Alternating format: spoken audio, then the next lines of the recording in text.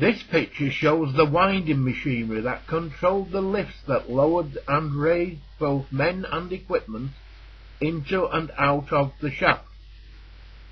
The pictured machinery is in the east winding house.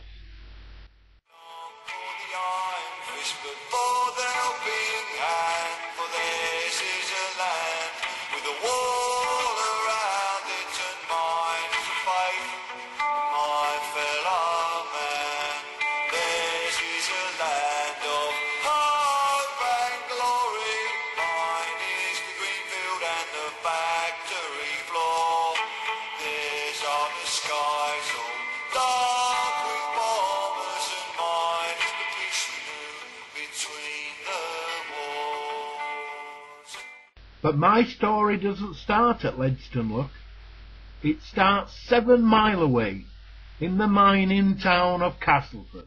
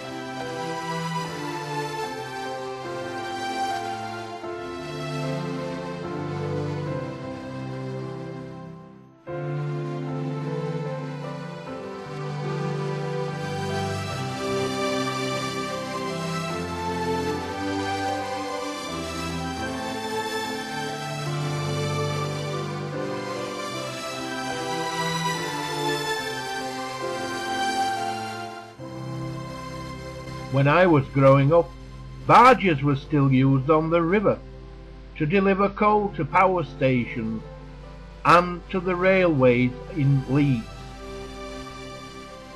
Allinson's flour mill was always great on a windy day when the soap suds from the weir used to blow into the town centre.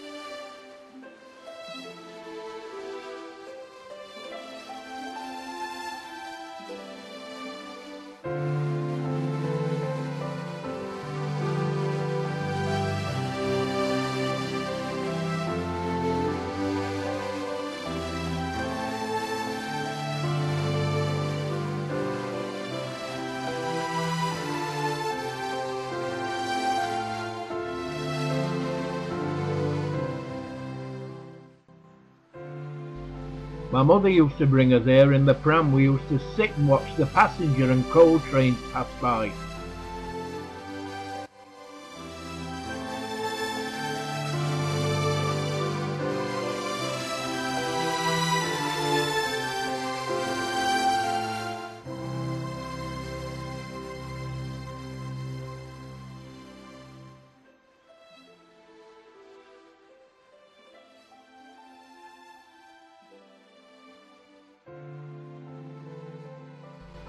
Ambler Street, front and back, where I was born, and the Co-op Dairy, where the electric milk carts used to leave to deliver all the milk, and the Vicar Street Social Club is where my grandfather and dad used to go for a drink after work.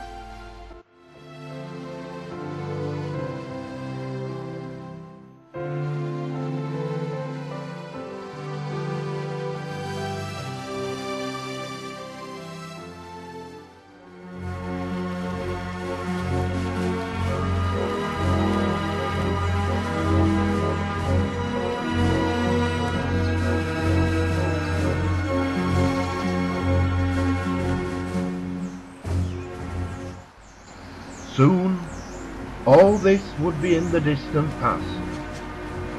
As we travelled those seven miles, little did we know it would change our lives forever.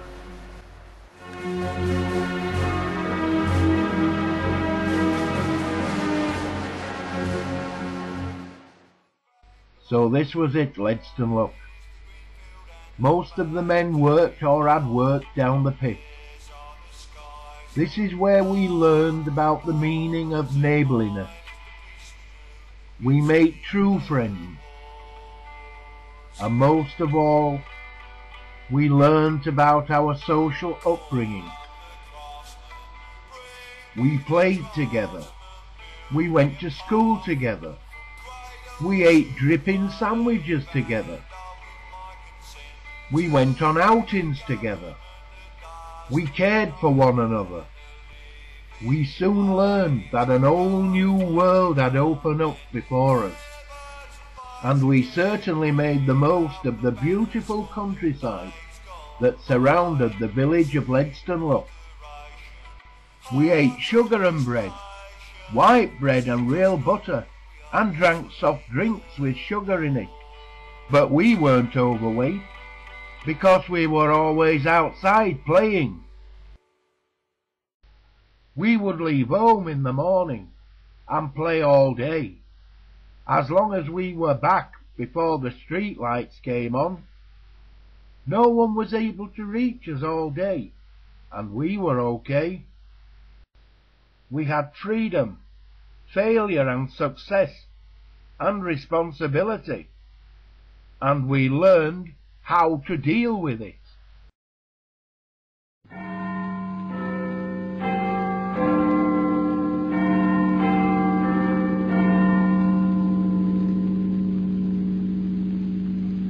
Good morning, everybody. It's half past six, and the BBC Light programme's beginning another day's broadcasting. First, here's a summary of the news. Budget Day will be a fortnight on Tuesday, the day that Parliament reassembles after the Easter recess. And that's the end of the news summary. Now, until half past eight, we have our programme of morning music.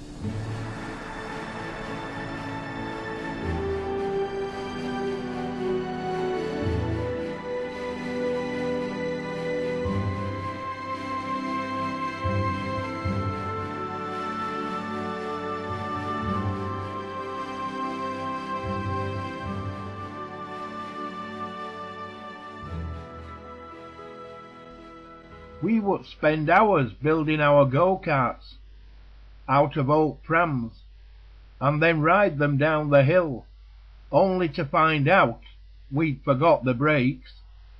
We built tree houses and dens and played in riverbeds with matchbox cars. We didn't have PlayStations and Nintendos, no mobile phones or anything like that. All we had were friends and we went outside and found them. We fell out of trees, got cut, broke bones and teeth, and there were no lawsuits in them days. Only girls at Pier Steers. We ate worms and made muck pies out of dirt, and the worms did not live inside us forever.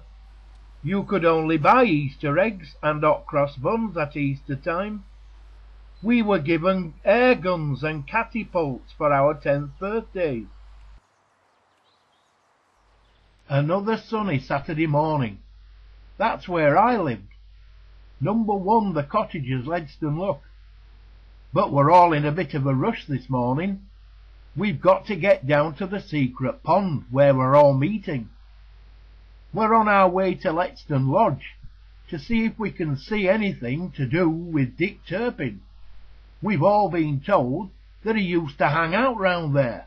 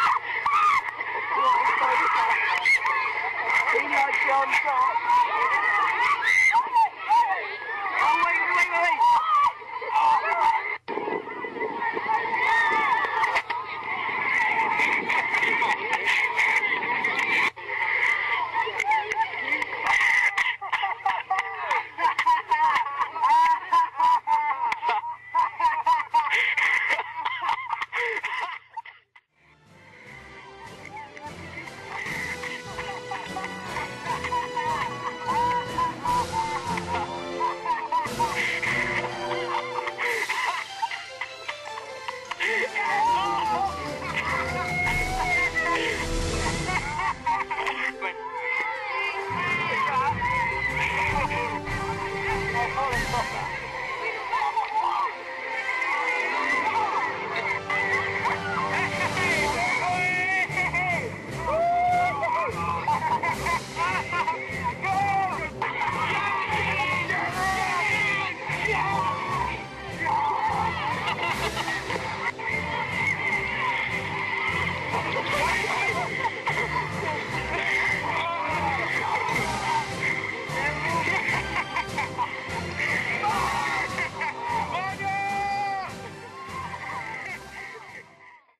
And then suddenly we saw the four turrets of Ledston Lodge.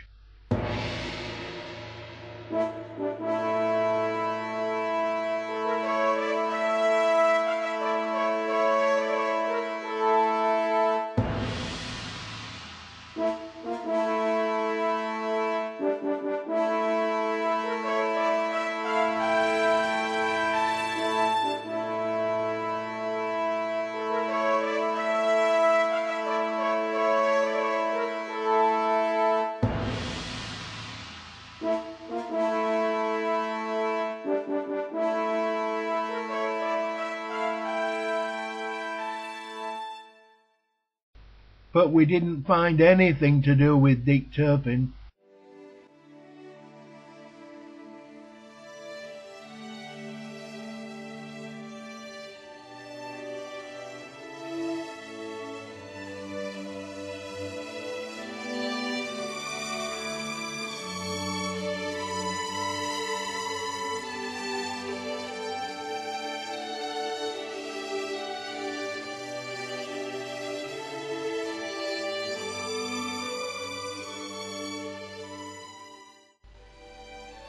Been to the lodge, we headed for Ledsham village, to the pub, so we could buy pop and crisps before we started our way home.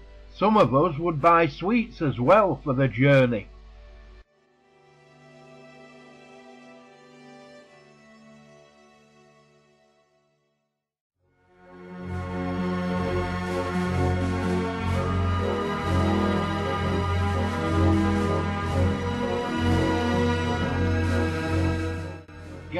School in Kippax was an expedition in itself. The bus used to pull in at Cross Hills, and if we were lucky, we'd three minutes to run up the hill to get into school.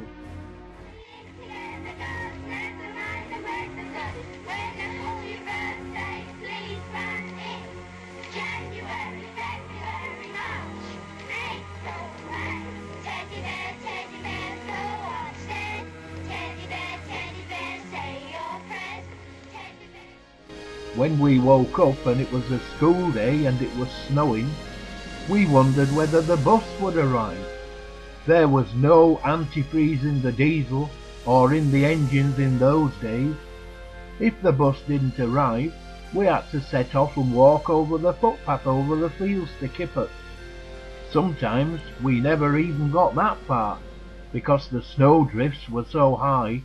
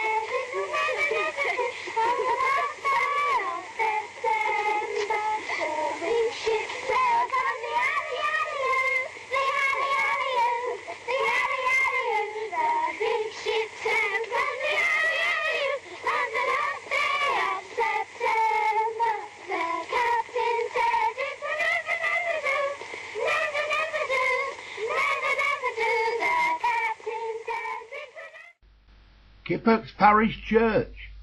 This is where the whole school came for the school carol service. Then it was time for the pantomime in Leeds.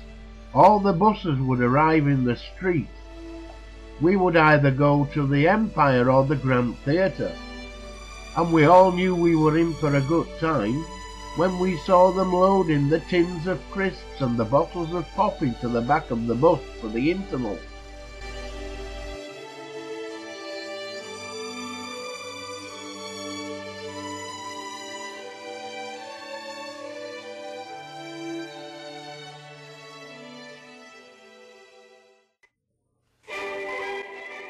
In the summer when it was the village outing, all the Wallace Arnold buses would start arriving in the street.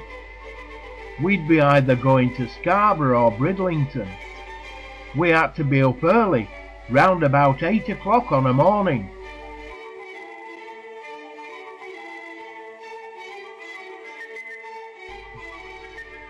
Each bus would be loaded with crates of beer and pop, tins of crisps, ready for the halfway house.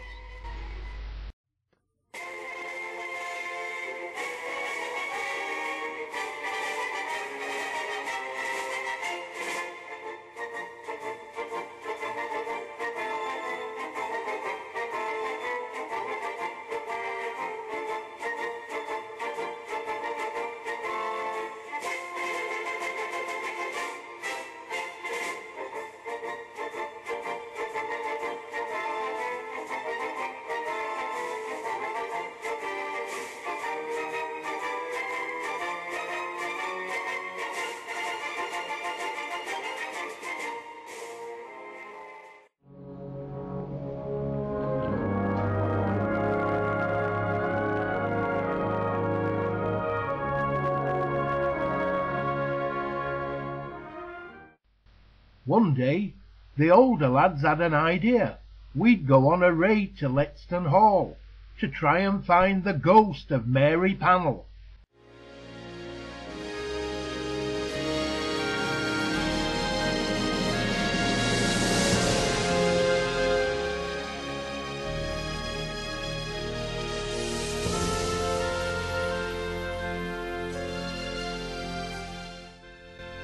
She used to work there in the 1800s.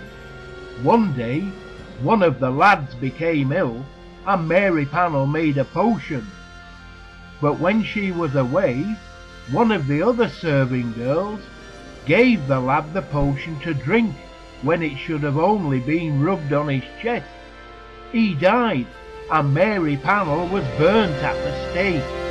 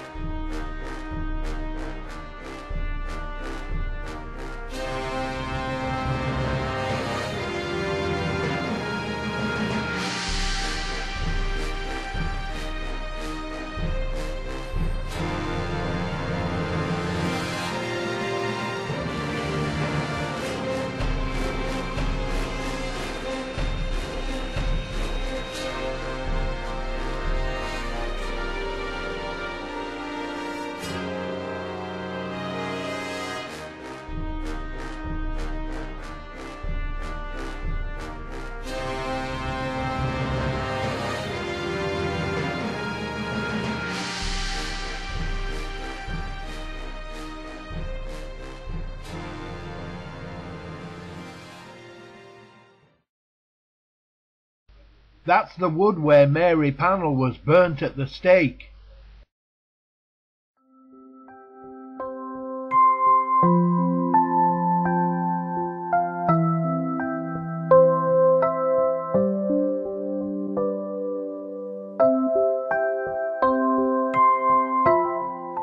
On Sundays, we'd all go to Sunday school and then play out for an hour or two in the afternoon before it was time for tea.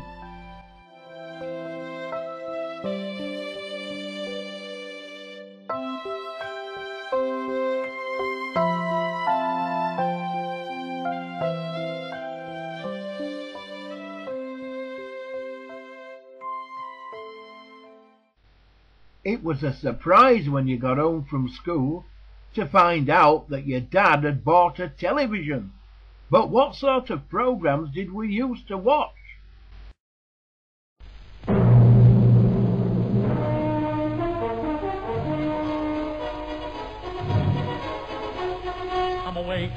With William Tell. Come away to the land he loved so well. What a day, what a day when the apple fell for Tell and Switzerland. Come away, Tell to the mountainside. Look down to the pass where the tyrants ride. Hit a he a ball, and down they go.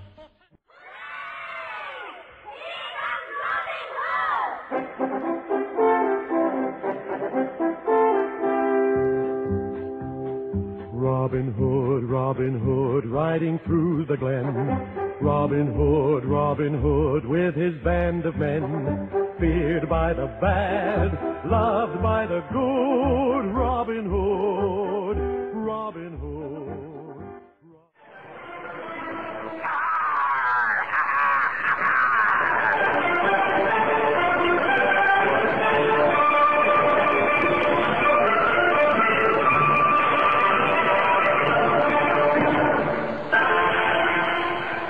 sailors' tales to sailors too, storm and adventure, heat and cold, if schooners. Ivan Hoven Hore Ivan Ivan to rive with Ivan Hall Go a roving, a roving across the ocean, oh let's go a roving and join the buccaneer. He's the bravest man we know, say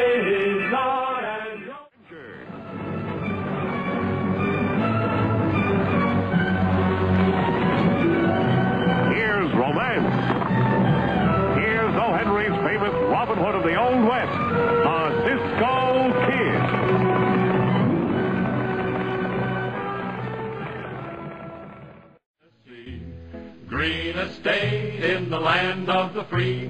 Raised in the woods so he knew every tree. Killed him a bar when he was only three. Davy, Davy Crockett, king of the wild frontier. Wakey, wake!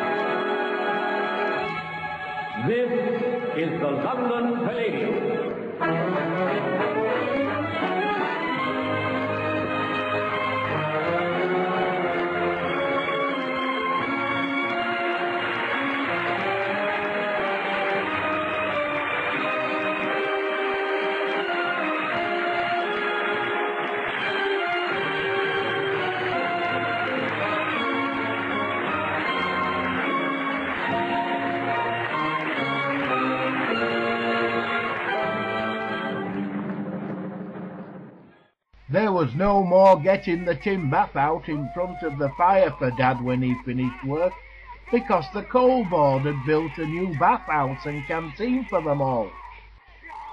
As children, we would ride in cars with no seat belts or airbags. We drank water from the garden hose, and not from a bottle. Takeaway food was limited to fish and chips. We didn't have pizza shops or McDonald's. We rode bikes or walked to our friends' houses and knocked on the door or rang the doorbell or just yelled out for them. Our mothers didn't have to go out to work to help Dad make ends meet. We would collect old drinks bottles and cash them in at the corner shop and buy toffees, gobstoppers, bubblegum and some bangers to blow frogs up with. The village bonfire in November was always exciting, when everybody used to bring their chairs to sit round, as well as the potatoes, the hot dogs, and the sausage rolls. I remember the potatoes used to be absolutely black when they got them out of the fire, and we used to put bangers under their chairs We used to love letting off jumping crackers because you never knew where they were going to jump to. And everybody used to bring their old furniture for the bonfire, what they'd saved up all year.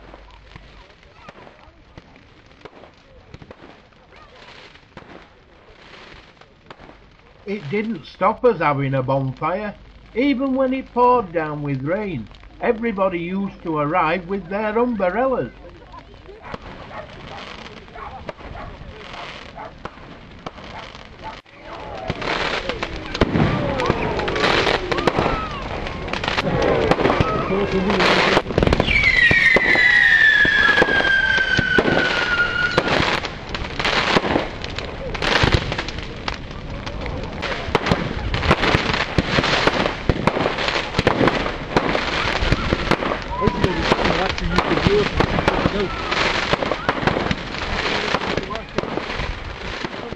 Yes, those times were great. The fun, the laughter, the disappointments, the upsets, all the emotions that we could go through, we did. But I certainly would never change anything that happened in those days growing up in Ledston Luck for anything in the world. This film is dedicated to all my young friends who are still with us and those who have departed. I hope you've enjoyed.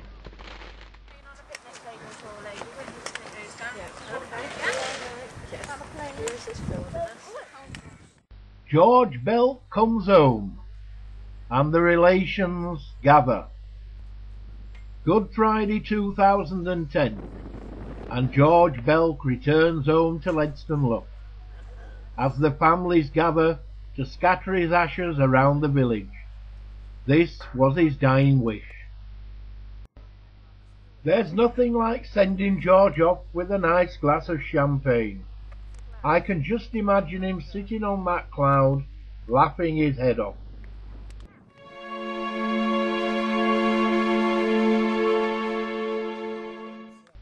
But they can't blame the family. It was Pat, George's wife's idea.